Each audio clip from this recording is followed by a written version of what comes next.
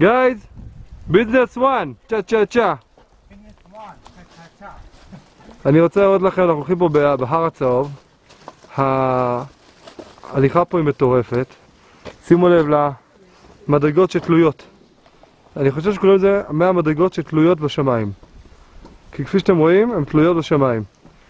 ביזנס וואן, תגידו שלום! ייי!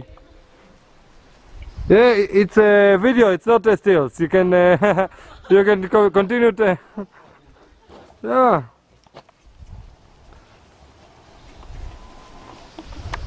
Just to make sure, make, אני מדבר באנגלית, רק שתוודאו כמה גבוה פה, ממש גבוה. זה ממש יפה. אם נמצאים בשקט, אפילו אפשר לשמוע את הציפורים. Ja, darf ich schon rüber. So gehen wir dem hin.